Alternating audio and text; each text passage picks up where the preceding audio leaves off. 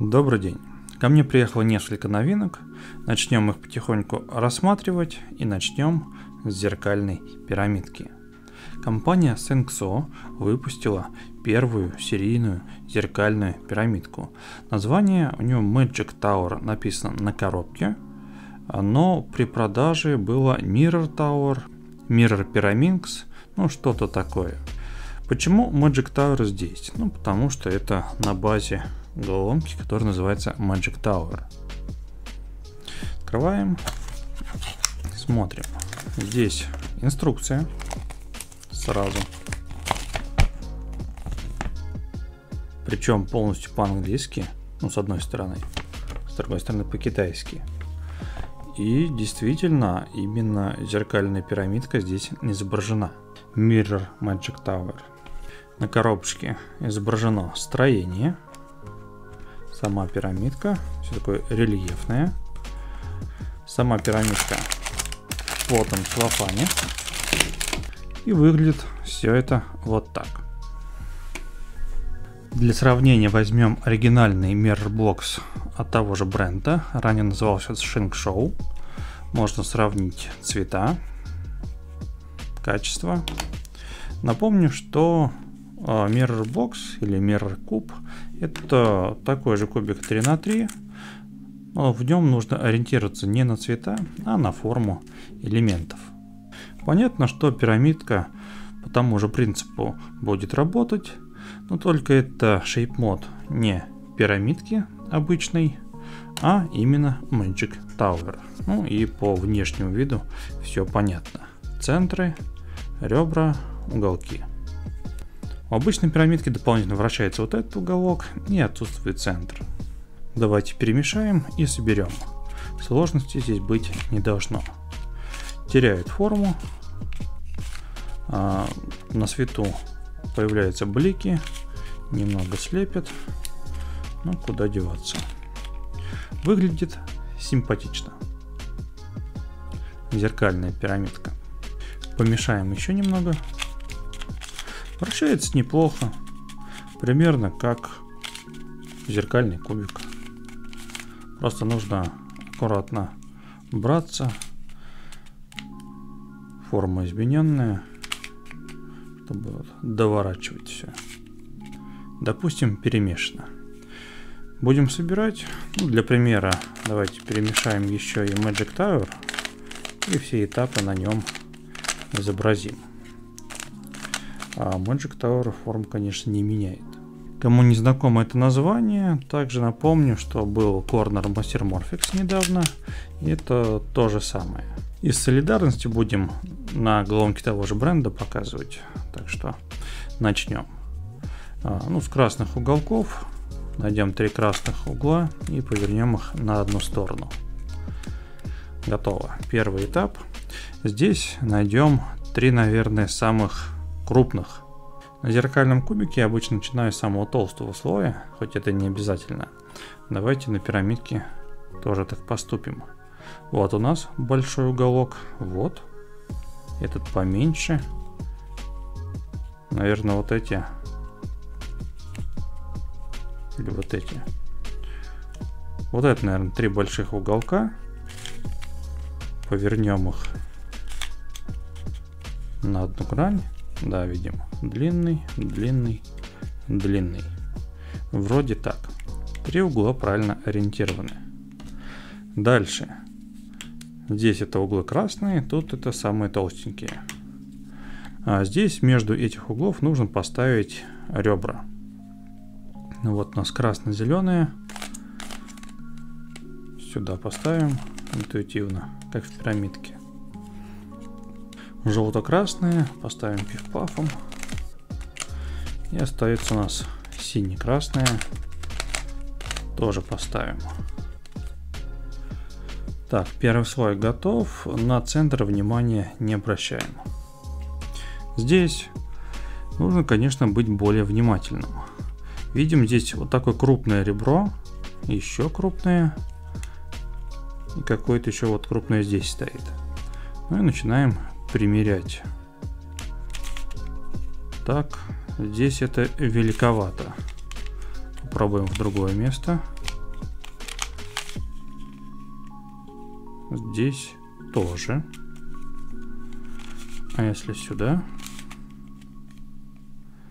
И здесь. А, попробуем другой стороной. Много.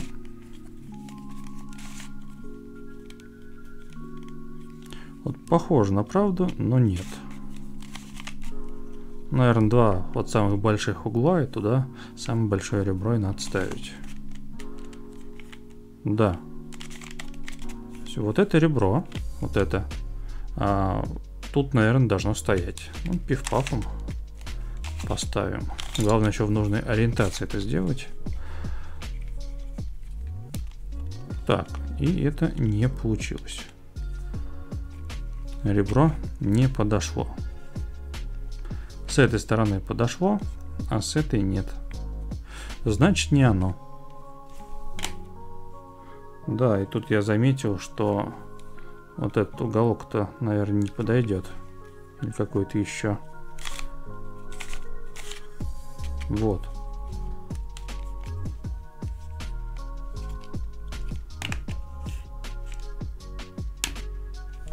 Вот, если так поставить, видно, что уголки неправильные. Вот это короче. А значит, давайте перейдем на эту грань. Я либо в процессе ошибся, либо изначально.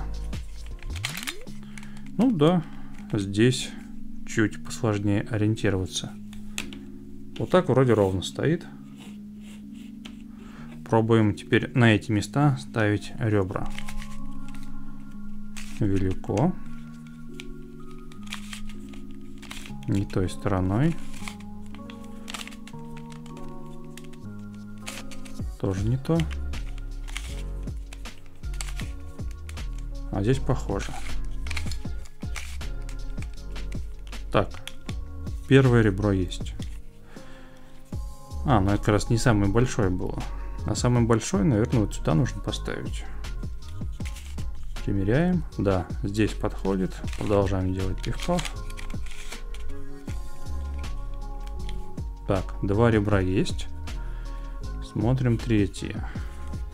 Очень похоже, что оно стоит уже на своем месте, так как эти все маленькие. Ну, сделаем пивпав, чтобы извлечь. И примеряем с этой стороны. Не та ориентация, но с другой. Хорошо.